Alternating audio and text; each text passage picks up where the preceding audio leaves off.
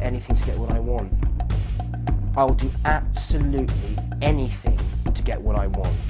You know, I, I have absolutely no concern for people who are around me in the business world, uh, peers, colleagues, contestants, and their feelings.